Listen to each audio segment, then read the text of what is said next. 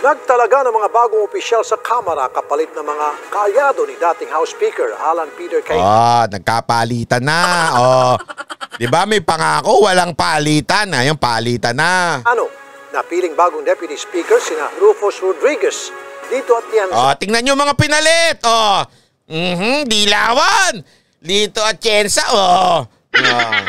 Tingnan niyo na mga pinalit. Oh. Tingnan nyo na yung mga pangalan. Kita nyo na. At Camille Villar.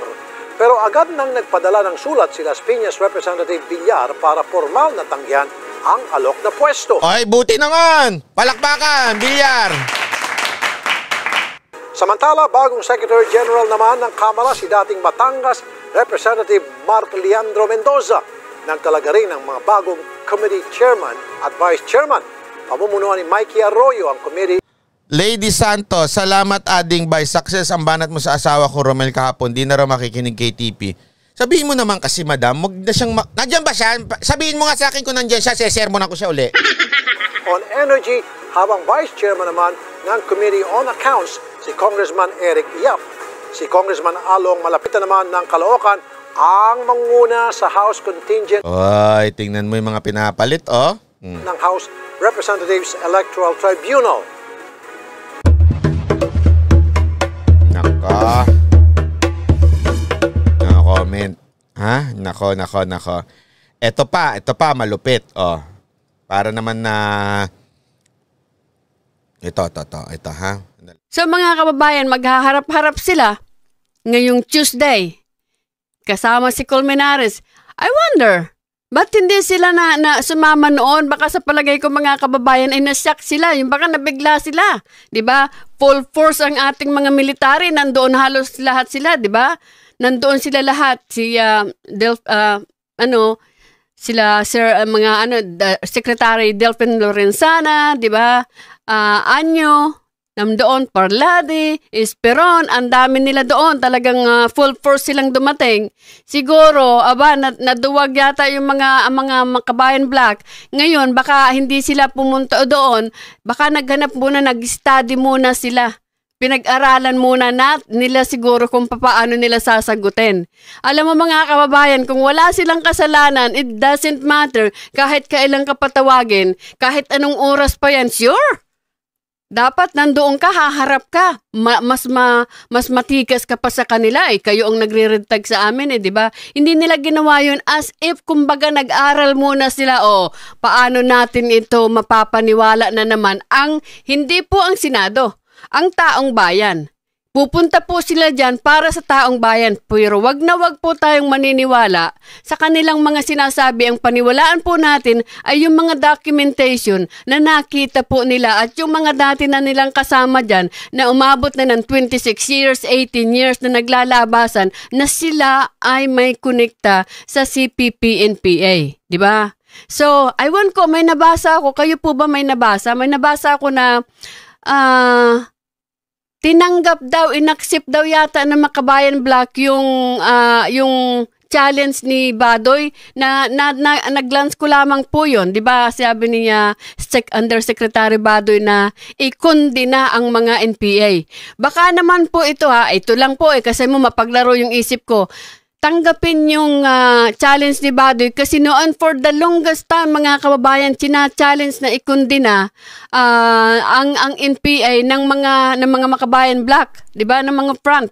Uh, hindi po nila ginagawa yan. Somehow, some, somewhere, naisip nila na hindi na ito uurong. Naisip nila na ano na to, hindi na to titigil. So somehow, maybe nagpaikot na naman sila, gagawa na naman sila ng paraan para kunyari, di ba, 'Di ba? Yung mga double agent nga, kunyari sasabihin ko gano'n, kunyari kaaway kita. Baka lang nga kasi mapaglaro yung isip ko. So kunyari ikukundi na kita ha, pero hindi tayo magkaaway. Kasi nga po mga kababayan, wala na. Hindi na sila makakaso- makakalusot dito. 'Di ba? So yung pong yung ating mga kababayan na nandyan sa bundok, magbabaan na po kayo. You know, uh, meron nga pong ano nga, sinabi ko nga po sa inyo na noong a week ago, kasi si, si uh, uh, National Advisor, General Esperon na lang, haba-haba eh. So General Esperon, ay pumunta 'di ba sa ano sa korte sabi ko sa inyo nung, nung November 16 at nag nag-witness siya doon. Kinakasuhan itong sila sila Joma Session dahil nga po doon sa nahanap nilang ah, mga buto ng ating mga kababayan. Pinatay nila yon dahil nga po I think pinag either pinag ah, pinag-iisipan nila na yun ay mga spy so pinagpapatay nila binaon nila doon na nahanap sa tawag nila doon sa ano inupakan. Hindi ko alam kung saan yung inupakan na yan na ay ano na, na, nahukay po doon maraming maraming bangkay. Ang nahu nang nahukay doon. So yun po ang ikinaso sa kanila. I think I believe in 2004 or 2006 matagal na po. Kaya nga po ah, dapat bumalik na yan si Joma Season harapin niya yung kaso niya kung talagang wala siyang kasalanan kung hindi, kung may kasalanan ka naman, kaya, kaya siguro tago ka ng tago, takbo ka ng takbo. Kasi mga kababayan, ang sabi nila, hindi po ito gagawin ng mga leader lamang ng NPA. Ito po ay may basbas sigurado ng nakakataas. Sinong nakakataas? Hindi ba si Joma Season? So mga kababayan, ah ito po yung ano ito po yung si, ano 60 60 ang nagsipagsuko nung last week lang ang dami mga kababayan. So, yung mga kababayan ninyo, mga kamag-anak, yung mga nandyan sa Quezon, yung madami ng uh, ano, marami ng maraming NPA dyan sa Quezon eh. Uh, bumaba na po kayo kaya sabi nito ni uh, ni General Esperon tatamaan kayo ng malaki within the next two years. Why? Nandito na po yung limang uh, chopper um, uh, uh, uh, attack helicopter, yung Black Hawk, nandito na po. Kahit lilima pa lang yan. Eh, hindi ko lang alam kung kailan pa darating yung anim na yata.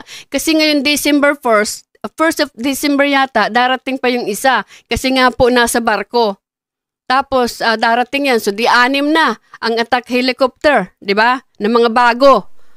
So, bumaba na po kayo dahil hindi po ito baba, hindi po ito iiwanan ni Pangulong Duterte. Gusto na po itong tapusin kaya kung gusto po ninyo, i-save na po ninyong buhay ninyo at wag na po ninyong payamanin yung mga ginagawang hanap buhay. Hanap buhay na lang po ito mga kababayan. This is not about let's fight uh, for let's fight and change the system of our uh, government. Hindi na po dahil there's just no way po na mananalo ang NPA dito. Lalo na po ngayon million at marami na pong mga mamamayan ang uh, more ang aware na kalaban kayo, kayo mga terorista. Kasi yung ginawa ninyong pagpatay ninyo, pagpurging ninyo, tao yun yung pinatay ninyo. Paku, wala kayong pakundangan na pagpatay. Kahit nakasama pa ninyo yun. Pilipino din yun eh. So, ka- kayo po ay terorista sa mata ng taong bayan din. Kasi nga po, terorista lamang po ang gumagawa ng ganyan.